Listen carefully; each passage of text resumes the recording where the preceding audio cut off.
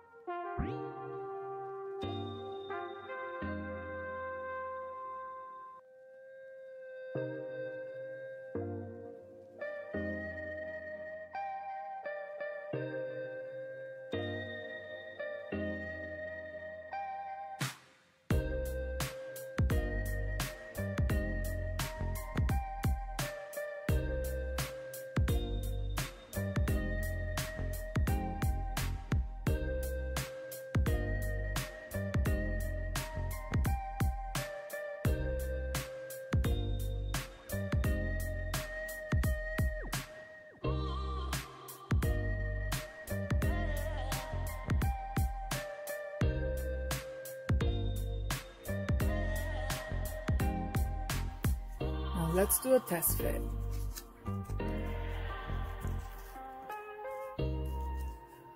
Looks pretty good. If anything, I will make this a little bit smaller so that it fits better.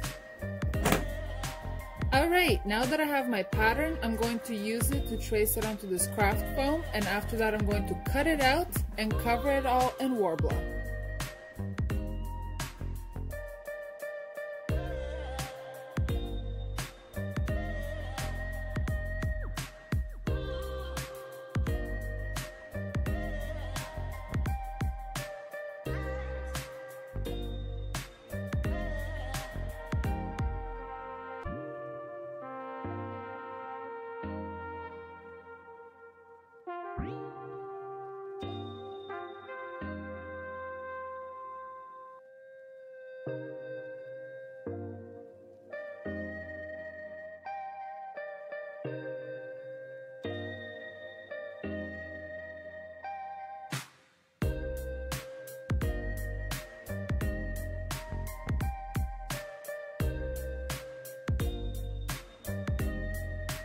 Now I have traced my pattern onto the Worbla twice and I'm going to use these to cut it out.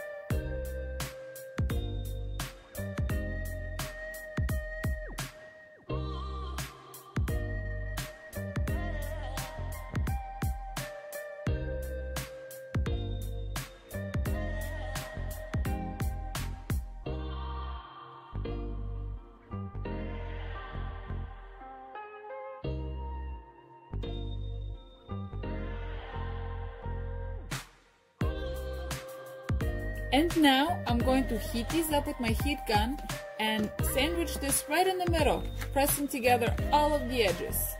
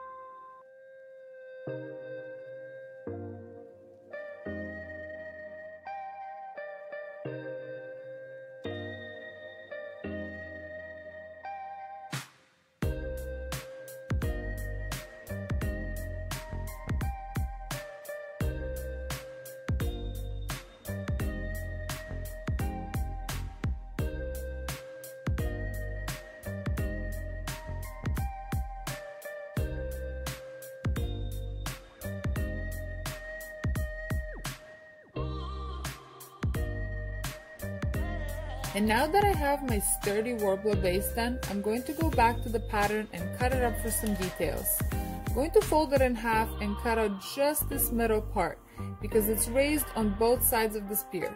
To create this, I'm going to use some high density foam, which I'm going to Dremel into shape.